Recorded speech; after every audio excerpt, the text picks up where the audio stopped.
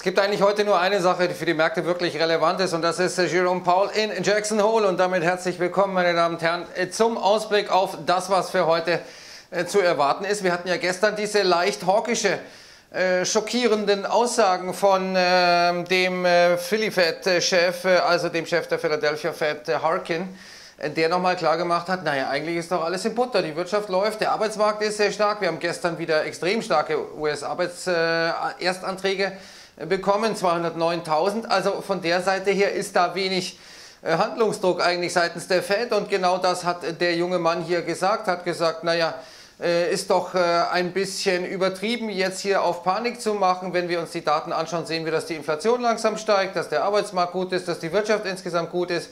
Und das hat die Märkte gestern ein bisschen schockiert. Und meine These ist, dass Harker das natürlich jetzt nicht aus dem hohlen Bauch sagt, sondern dass das abgestimmt ist mit der Fed, dass sich Jerome Powell heute nicht wesentlich anders äh, wird äußern können als äh, dieser Fed-Gouverneur. Dementsprechend sind die Märkte vielleicht ein bisschen ähm, falsch gewickelt, wenn sie diese Aussagen nicht ernst nehmen. Schauen wir uns erstmal an, was eigentlich die Erwartung der Märkte ist. Das ist die Wahrscheinlichkeit, ähm, die die Fed Fund Futures einpreisen für das, was dann bei der nächsten Sitzung 18. September passieren wird, zu 88,8 Prozent. Das ist eine 0,25 Prozent.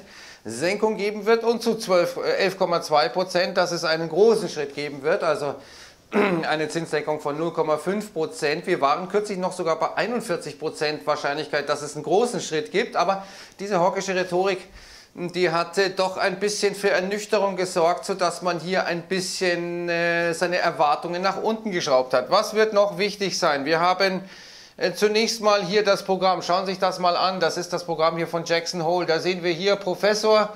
Äh, dann kommt äh, Jerome Paul um 8 ähm, Uhr Ortszeit, 16 Uhr bei uns. Dann kommt der nächste Professor. Dann kommt wieder ein Professor. Dann hier ein Professor. Also das ist eine Elfenbeinturmparty, ist eine Veranstaltung von Akademikern für Akademiker.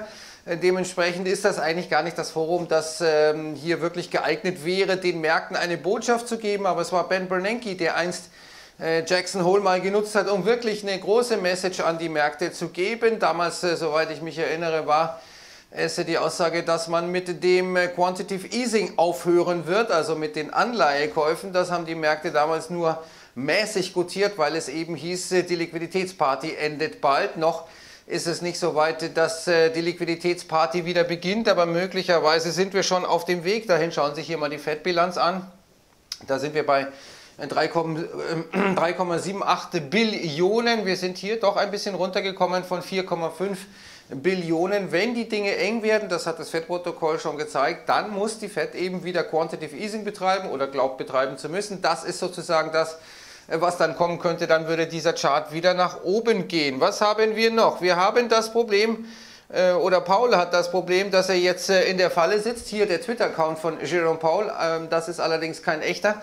Der sagt, wenn meine Rede enttäuscht, dann werde ich, werden die Märkte fallen und ich werde gefeuert.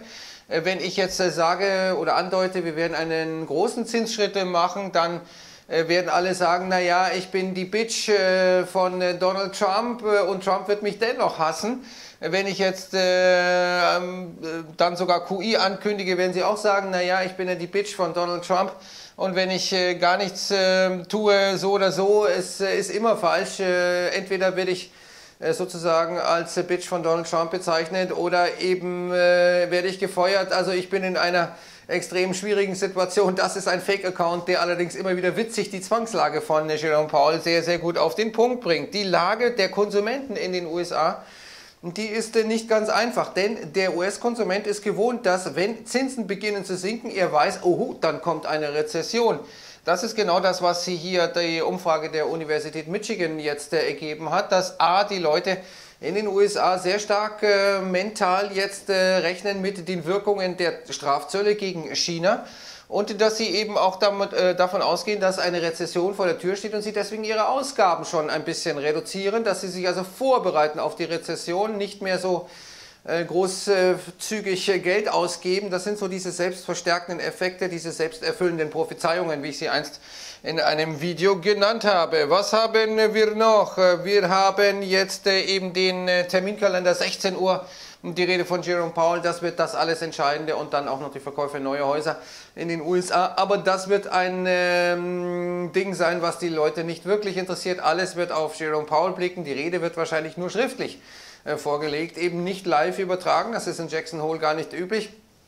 Achten Sie auf ein Wort, das ist das Wort somewhat, also etwas, einigermaßen, das ist äh, in Zusammenhang mit den Abwärtsrisiken, die die Fed sieht. Wenn äh, Jerome Powell sagt somewhat, hätten die Risiken zugenommen, dann ist das eine klare Andeutung auf eine 0,25% Zinssenkung. Sie wissen ja, Notenbankersprech ist kodiert es sind sozusagen Codewörter, Schlüsselwörter, die etwas signalisieren.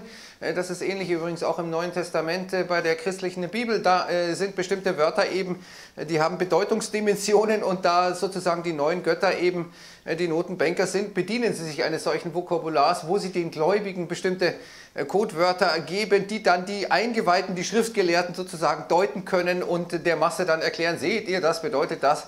Äh, das äh, ist äh, sozusagen jetzt das entscheidende Wort somewhat, auf das wir achten müssen. Schauen wir rein in die Charts. Was wir hier sehen von Capital.com, was wir hier sehen, ist der S&P 500. Wir sind gestern mal runtergedippt nach, der Haken, nach den Aussagen von Harker, sind dann aber wieder raufgekommen. Derzeit das Muster so ein bisschen, die Asiaten sind irgendwie gut gelaunt. Die Chinesen erwarten Stimulus, die Amerikaner wissen nicht so genau, was der Fall ist. 2940, das ist der relevante Widerstand.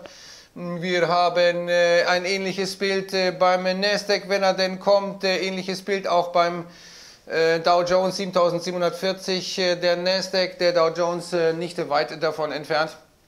Dauert ein bisschen lange, bis hier die Charts displayen. Dann machen wir doch einfach mal den DAX. Vielleicht kommt der schneller. Schaut, der DAX ist schneller. 11.797, also nach wie vor an der 8.000er Marke. Hier Seitwärtsgeschiebe auf breiter Front. Der Euro wird natürlich stark betroffen sein hier von dem, was Jerome Paul zu sagen hat. 1,1068, äh, also weiter Druck nach unten, Dollarstärke. Wir sehen, dass Gold auch ein bisschen äh, runterkommt von den Höchstständen 1495 und das amerikanische Crude Oil. Das ist bei 55 Dollars und 30 auch ein bisschen runtergekommen. Also es äh, gibt ja eine Riesendiskrepanz zwischen Märkten und äh, der Fed. Die muss äh, Jerome Powell heute ein bisschen verkleinern, sonst haben wir ein Thema. Gestern hat das Harker versucht, die Märkte haben äh, kurz äh, schockiert reagiert, aber dann sich gesagt, naja, das ist ja nur der Chef der Philadelphia Fed, der ganz große Chef, der kommt morgen. Wir haben deswegen auch wenig Umsätze gesehen gestern an den Märkten an der Wall Street im Speziellen. Das war alles sehr, sehr dünn. Dünne Umsätze heißen meistens dann, dass die Kurse so latent nach oben gehen. Erst wenn größere Umsätze sind, dann sieht man, dass der Fluchtimpuls ein bisschen da ist und meistens ist das gekoppelt mit einer Abwärtsbewegung. Also mal schauen, was äh, Paul heute liefert. Viele haben sich zurückgehalten, viele werden jetzt erst agieren, wenn sie hier von Paul Hinweise bekommen und da sieht es so aus, dass ähm, Paul sich alle Optionen offen lassen wird, sagt, wir sind datenabhängig, wir gucken mal, wir werden flexibel sein. Vielleicht sind wir dann also nach der Rede nicht schlauer als vorher. Wir werden sehen. Ich wünsche jetzt das Allerbeste. 16 Uhr die Rede bei Finanzmarkt Welt. Sobald sie da ist, werden Sie da auch finden. Ich wünsche das Allerbeste und sage Servus und ciao.